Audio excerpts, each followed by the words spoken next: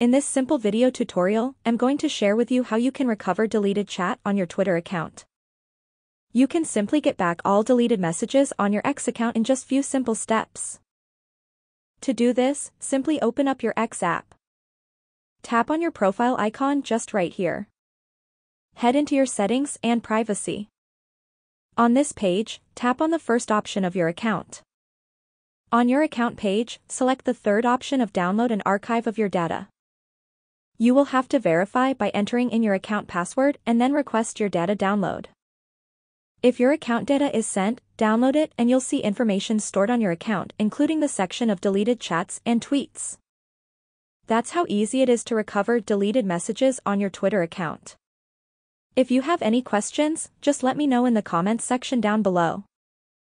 Please don't forget to leave a like, share and subscribe for more video tutorials like this one.